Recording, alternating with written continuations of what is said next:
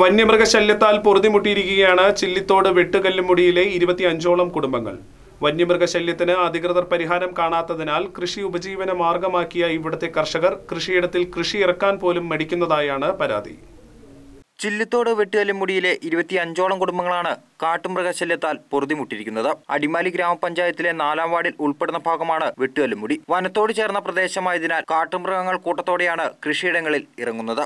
ഏക്കറോളം വരുന്ന കൃഷിയിടങ്ങൾ ഒറ്റ രാത്രി കൊണ്ട് തന്നെ നശിപ്പിക്കുന്ന പ്രവണത കൂടിയതാണ് ഇവിടെ കൃഷി ഇറക്കിയവർക്ക് ആശങ്ക ജനിപ്പിക്കുന്നത്. കാട്ടുപോത്തുകളും കാട്ടുപന്നികൾക്കും പുറമെ കുരുങ്ങുശല്യവും രൂക്ഷമാണ്. കൃഷി ഉപജീവന മാർഗമായ ഇവിടുത്തെ നിരവധി കുടുംബങ്ങൾ കൃഷി ഇറക്കാൻ പോലും മടിക്കുകയാണ്. വനംവകുപ്പിൽ പരാതികൾ സമർപ്പിച്ചെങ്കിലും പട്ടയത്തിന്റെ പേരിൽ കാട്ടുമൃഗങ്ങളുടെ ശല്യം തടയാൻ നടപടി കൈക്കൊള്ളാൻ തയ്യാറാകുന്നില്ലെന്നാണ് പരാതി. രണ്ടു മാസം മുമ്പ് ഇവിടെ പുലിയിറങ്ങി വളർത്തുനായ്കളെ കടിച്ചു കൊല്ലുകയും ചെയ്തിരുന്നു. രാത്രിയായാൽ വീടിന് പുറത്തിറങ്ങാൻ പോലും കഴിയാത്ത സാഹചര്യവും നിലനിൽക്കുന്നുണ്ട്. പന്നി ശല്യം മ്ലാവ് ശല്യം കുരങ്ങ ശല്യം അങ്ങനെയുള്ള മൃഗ കാട്ടുമൃഗങ്ങളുടെ വളരെയേറെ ശല്യങ്ങളുണ്ട്.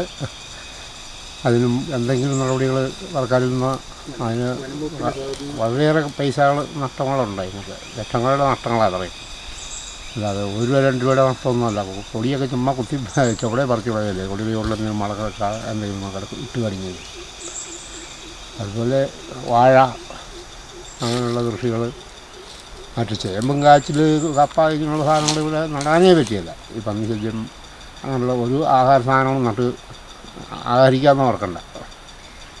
ഇഞ്ചി വരെ കുത്തി എടുത്ത് കളയുക.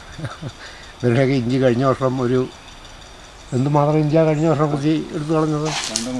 ആ ഒരു കണ്ടം മൊത്തം ഇഞ്ചി നട്ടിരുന്നത് മൊത്തം കംപ്ലീറ്റ് ഒറ്റ ദിവസം കൊണ്ട് കുത്തി പന്നിയെടുത്തു എടുത്ത് കൊന്നു വനവകുപ്പിന്റെ ഇടപെടൽ വേണ്ട രീതിയിൽ നടത്താത്തതാണ് ഇപ്പോൾ വീണ്ടും പ്രതിഷേധത്തിന് ഇടവരുത്തിയിട്ടുള്ളത്. Channel today Adimali.